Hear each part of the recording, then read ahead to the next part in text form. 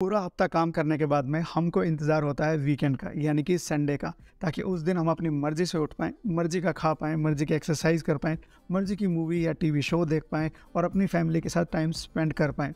लेकिन कुछ लोगों के लिए यही संडे काफ़ी ज़्यादा हेडेक भरा होता है, जिसको बोलते हैं हम लोग संडे हेडेक इसको वीकेंड हेडेक भी कहा जाता है और लेट डाउन हेडेक भी कहा जाता है। ये एक स्पेसिफिक टाइप का हेडेक होता है, जो आमतौर पर वीकेंड्स पे ही होता है और ख़ास तौर से संडे को होता है। इसका एक ख़ास पैटर्न होता है। ये बार बार रिकरेंट पैटर्न से होता है, यानी कि ये संडेज़ को ही होता है वीकेंड पे ही होता है। और इसमें जो हेडेक होता है, वो ख़ास तौर से सुबह शुरू होता है और कुछ घंटों तक रह सकता है और कुछ कुछ लोगों में तो पूरे दिन तक रह सकता है।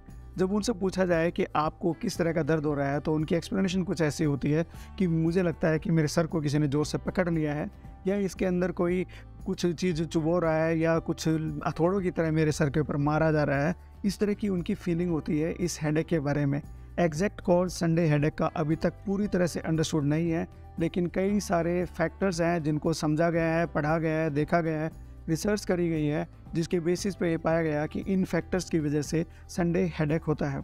सबसे पहला फैक्टर है स्ट्रेस स्ट्रेस किसी भी तरह के हेडेक में काफ़ी ज़्यादा सिग्निफिकेंट बहुत इंपॉर्टेंट कंपोनेंट होता है, और पूरे वीक डेज़ में हम लोग बहुत सारा काम कर रहे होते हैं, जिसकी वजह से हमारी बॉडी में स्ट्रेस लेवल जो है बढ़ रहा होता है, और उसकी वजह से स्ट्रेस हार्मोन्स का भी लेवल बढ़ता है, क्योंकि बॉडी स्ट्रेस हार्मोन इसलिए निकालती है ताकि उस स्ट्रेस को अच्छे से कम्बैट कर पाए, और हम लोग बीट कर पाएँ और जिसकी वजह से मसल टेंशन बढ़ती है और मसल्स में टाइटनेस होती है। लेकिन जब वीकेंड आता है तो हमारे को किसी भी तरह का स्ट्रेस नहीं होता, यानी कि स्ट्रेस रिड्यूस हो जाता है तो बॉडी एक्सपीरियंस करती है, एकदम से स्ट्रेस हार्मोन के लेवल को नीचे जाने वाले लेवल को फील करती है।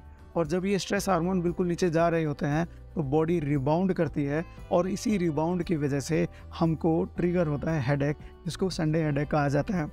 नंबर टू पे आता है स्लीप पैटर्न। पूरा हफ़्ता तो हम लोग सुबह उठ के अपने ऑफ़िस की तरफ़ भागते हैं और हो सकता है कई बार रात को भी ढंग से स्लीप नहीं ली होती। ये हमारा पैटर्न बना होता है, लेकिन संडे को हम चाहते हैं कि थोड़ा सा ज़्यादा जी लेते हैं, थोड़ा सा ज़्यादा सो लेते हैं। और जिसकी वजह से हमारा स्लीप वेक साइकिल जिसको हम लोग सोशल जेट भी कहते हैं, वो टूट जाता है और उसकी वजह से कुछ न्यूरो और कुछ हारमोन्स खास तौर से सीरोटोनिन के लेवल में ऊपर नीचे का बदलाव हो जाता है और जिसकी वजह से संडे हेडेक या हेडेक डेवलप होना शुरू हो जाता है। हम पूरा हफ़्ता अब पूरा हफ़्ता अपने काम को अलर्टनेस और फोकस तरीके से करने के लिए कैफ़ीन का काफ़ी ज़्यादा इस्तेमाल करते हैं। आजकल काफ़ी ज़्यादा इस्तेमाल होता है। सो ताकि लोग स्टे रहे फोकस रहें और अलर्ट रहें। लेकिन जब हम लोग वीकेंड आता है तो यही हमारा जो कैफ़ीन की हैबिट है, ये अब्रप्टली चेंज हो जाती है। और इसकी वजह से कई लोगों को विड्रोवल सिम्टम होते हैं और उन विड्रोवल सिम्टम का हिस्सा होता है हेडेक अगली बात आती है डिहाइड्रेशन की। डिहाइड्रेशन बहुत ही कॉमन फैक्टर है हेडेक की वजह को कॉज करने के लिए और वीकेंड पे हमारा रूटीन लाइफ चेंज हो जाता है, जिसकी वजह से काफ़ी लोगों का वाटर इनटेक भी कम हो जाता है। और सैटरडे जो उससे पहले रात गया है, उस टाइम पे भी लोग अल्कोहल भी इस्तेमाल करते हैं ताकि वो थोड़ा रिलैक्स फील करे, लेकिन उसकी वजह से भी डिहाइड्रेशन होता है और उसकी वजह से सुबह, संडे को काफ़ी ज़्यादा हेडेक फील होता है लोगों को। डाइट हम लोग रूटीनली जो उनकी हमारी हैबिट होती है, पूरा जो हफ़्ता हम खाते हैं, उसमें जैसे कि कभी खाना मिस कर दिया या अलग तरह का फ़ूड खाया, उससे क्या होता है कि ब्लड शुगर के लेवल को जो है हमारी बॉडी अडाप्ट कर रही होती है। लेकिन हमारा जो वीकेंड होता है, वो बिल्कुल ही अलग तरह का हमारा डाइट पैटर्न होता है। हम अलग अलग तरह के फ़ूड आइटम्स खाते हैं, ज़्यादा अमाउंट खाते हैं हैवी डाइटिंग लेते हैं और जिसकी वजह से ब्लड शुगर के लेवल में काफ़ी ज़्यादा फ्लक्चुएशन आती हैं और उसकी वजह से हेडेक होता है। तो सेकेंड लास्ट है इसमें आई स्ट्रेन यानी कि जब हमारा संडे होता है तो हमको लगता है कि आज मैं ये मूवी देखूँगा, क्योंकि पूरा हफ़्ता हमने उसको पेंडिंग छोड़ा होता है संडे के लिए। हमारा टीवी वॉच करने का टाइम हमारा इलेक्ट्रॉनिक डिवाइसेस पे ये सब चीज़ें का जो टाइमिंग है वो बढ़ जाता है, यानी कि स्क्रीन टाइम बढ़ता है, हमको आई स्ट्रेन होता है, जिसकी वजह से हेड डेवलपमेंट होती है। लास्ट होता है फ़िज़िकल एक्टिविटी पूरा हफ़्ता हम लोग दौड़ धूप में भागे दे दौड़े रहते हैं तो हमको एक्सरसाइज करने का उतना मौका नहीं मिलता है बहुत सारे लोगों को और हम लोग अपनी रूटीन लाइफ में उतना टाइम नहीं देते हैं बहुत सारे लोग। लेकिन जब संडे आता है तो कई बार लोग ज़्यादा फ़िज़िकल एक्टिविटी में इन्वॉल्व हो जाते हैं जिसकी वजह से फ़िज़िकल एग्जर्शन होती है और होता है आपको हेडेक सो so, ये फैक्टर्स थे जिनकी वजह से हमें हेडेक होता है। अब बात करेंगे कैसे इसको प्रिवेंट करना है और कैसे इसका ट्रीटमेंट करना है। तो इसका जो सिंपल प्रिवेंशन है कि जितने भी फैक्टर्स हैं, जो भी आपकी लाइफ है, चाहे वो संडे है, चाहे वीकेंड है, या चाहे आपकी वीकडेज है, आपका लाइफ का पैटर्न जो है, वो चेंज नहीं होना चाहिए। अगर अपनी लाइफ के पैटर्न में आपको कुछ प्रॉब्लम लग रही है तो उसको ओवरऑल चेंज करिए। एकदम से संडे वाले दिन आप अपने आप को पूरी तरह से चेंज मत कीजिए तो ये आपको परेशानी जो है, काफ़ी कम हो जाएगी। अब इस लिस्ट में अगर बात करें तो सबसे पहला आएगा आपका स्लीप शेड्यूल है, वो आपको चेंज नहीं करना। वीक डेज़ की तरह मेंटेन रखना है, उसको बिल्कुल बदलाव नहीं करना है। हाइड्रेशन आपको मेंटेन करना है प्लेंटी ऑफ़ वाटर्स आपको थ्रू आउट द डे पीने हैं, जैसे कि आप रूटीन में पीते हैं। और अगर वाटर अमाउंट अगर आपकी बॉडी में सही रहता है तो हाइड्रेशन मेंटेन रहेगी हेड के चांसेस वैसे भी कम हो जाते हैं।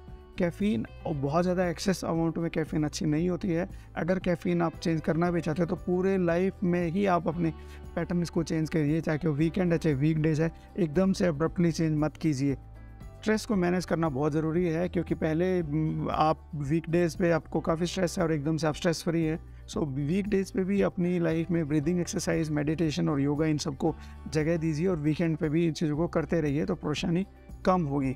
रेगुलर बैलेंस्ड मील खाना चाहिए वीक डेज़ पे भी और वीकेंड पे भी। एकदम से अब्रप्टली चेंज मत कीजिए, ताकि आपका ब्लड शुगर जो है, वो फ्लक्चुएट करने के बजाय स्टेबल रहे। Fluctuating blood sugar is more dangerous than the high blood sugar so अगला है कि ब्रेक लेते रहें स्क्रीन पे। अगर आप अपनी पसंदीदा मूवी देख रहे हैं या स्क्रीन टाइम आपका बढ़ रहा है तो ब्रेक लेते रहें। आई हाइजीन रखना बड़ा ज़रूरी है। इसके लिए रूल है ट्वेंटी ट्वेंटी ट्वेंटी यानी कि हर बीस मिनट के बाद में बीस मिनट, बीस फीट की दूरी पे कोई चीज़ है, उसको 20 सेकंड तक देखिए। आपकी आइज़ को रिलैक्सेशन मिलेगा। अगला है, आप अपनी रेगुलर फ़िज़िकल एक्टिविटी में वीक डेज़ पे भी इन्वॉल्व रहिए और वीकेंड पे भी इन्वॉल्व रहिए। एकदम से चेंज मत कीजिए। Sudden change in exercise routine काफ़ी डेंजरस है और यही चेंज, यही चेंजेस जो यही बदलाव जो है, कई तरह की जो प्रॉब्लम आप बड़े बड़े सेलिब्रिटीज़ और उन में देख रहे हैं, एकदम से जो लाइफ में काफ़ी ज़्यादा चेंज है, वो काफ़ी ज़्यादा प्रॉब्लमेटिक हो सकता है। इन सब के बावजूद भी अगर आपको संडे हेडेक बार बार आपको अप्रिशिएट हो रहा है बार बार हो रहा है तो आपको किसी हेल्थ केयर प्रोफेशनल से जाकर मिलना चाहिए। अपनी कंडीशन को बताना चाहिए डिस्कस करना चाहिए। हो सकता है आपको over the counter pain relievers की ज़रूरत पड़े या फिर प्रिस्क्रिप्शन मेडिकेशन की या फिर किसी तरह का अल्टरनेटिव मैनेजमेंट आपका थेरेपी से किया जा सके। सो so, ये था संडे हेडेक आई बिलीव कि आपको वीडियो पसंद आया होगा। अगर वीडियो पसंद आया होगा तो लाइक करो शेयर करो सब्सक्राइब करो जो दिल करता है वो करो। लेकिन संडे को अपनी लाइफ वैसे ही जियो जैसे वीकेंड पे जीते हो। फैमिली के साथ टाइम स्पेंड करो और अपने स्ट्रेस को मैनेज करो और एक्सरसाइज जो है वो रेगुलरली करो और हाइड्रेशन मेंटेन रखो। समय पे सो, समय पे उठो। Thank you so much. Love you all